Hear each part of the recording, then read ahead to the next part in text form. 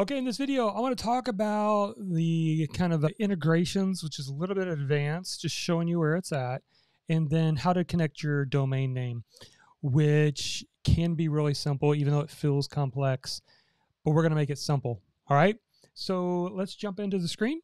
And as you remember, we've walked through like this dashboard, post. We're going to go all the way down here to the very bottom. Now, first of all, if you click on the little person down here, You'll see what's new, your profile, help center, which is great, resources and guides. Every time I've reached out to their customer service, they've been very responsive, which is a good thing. This little toggle right here is if you wanted it to be a dark theme. Uh, this does not affect your website, it's just your admin side. And then you got this kind of gear icon. So if you click on this gear icon, this again is where we've walked through this together on the website members. Now we're down here at advanced. So this is where you'll find integrations. And this is where you'll take steps if you want to on some of their other integrations. You can add custom integrations, but again, that's beyond the scope of this training. But let's say if you wanted to cook or hook up your Google Analytics, you would just follow the instructions right here, step by step. It's really simple to do so. Just using that as an example. All right. What I want to do is I want to click on Ghost Pro. I know it's on your screen, but by clicking on it, this is the billing section where you can decide if you want to upgrade, if you want to get an annual discount, their current pricing. You may have already made that option, but I just wanted to go here because I wanted to show you this is where domain list is listed, which we're going to do right now. And then you've got support over here, which is just reaching out to support at ghost.org. So let's go to domain. First of all, I would encourage you to click on the using a custom domain, which is going to open up this help page. And we're going to use that because that's important. And then you're going to want to walk through this process of setting this up. So we're going to click on setup here. Now it wants to know what is the domain that you want to use. So I've collected a bunch of domains over time. Some I just hold on to, and I'm not currently using this one called messengerlaunchpad.com. So we're going to use this one as an example. So messengerlaunchpad.com. Let's come back over here. Let's type in www.messengerlaunchpad.com. Okay, so that is the domain. Now it is telling me that I need to do a little bit of setup here. This can be intimidating, but we're going to keep it really simple. It may look different I'm using Namecheap, but a lot of them are very similar. What we're trying to find is the DNS records. So I'm in Namecheap. Here it is. I'm going to go into Manage. And once I'm inside Manage, I'm going to look for some kind of DNS settings is what I want. You can see here, I can go over here to Advanced DNS. So I'm going to click on that. And I'll make this a little bit bigger. Okay, as we scroll down, it's by default, all of these are going to have just like something here. You can just hit delete. Just so you don't get confused, we're going to delete both of these, not a problem. So we're going to need to add a new record.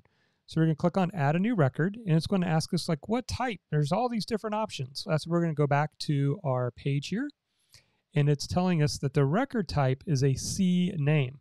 C names, all right? So we're going to just go back and forth with that page open. We're going to find CNAME. Here it is. So we've got CNAME. Perfect. Let's go back. What is the host? It's www. I'm going to go back. So host is right here. I'm just going to type in www. You could do this, right? All right, value.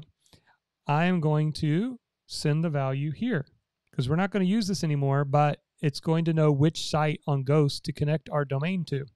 So value here is also the target. We're going to click that in.